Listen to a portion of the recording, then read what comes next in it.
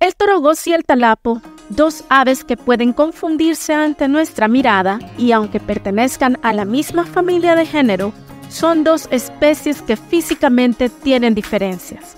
En Pajareando en El Salvador te decimos cuáles son. Veamos. El torogós tiene una corona de color verde sobre su cabeza. En cambio, el talapo tiene una corona de color negra.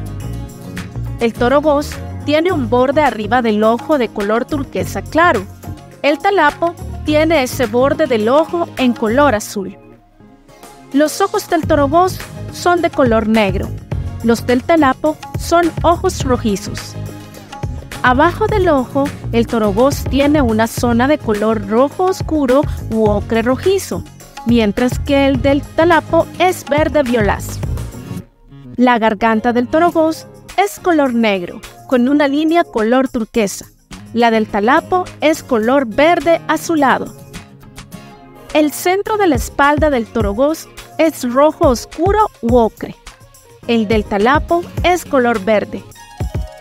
El cuerpo del torogós es delgado, a diferencia del cuerpo del talapo, el cual es robusto.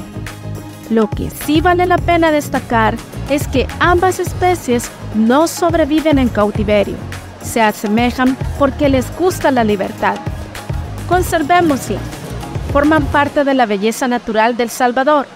No dejes de sintonizar nuestra próxima cápsula sobre avifauna. Hasta entonces.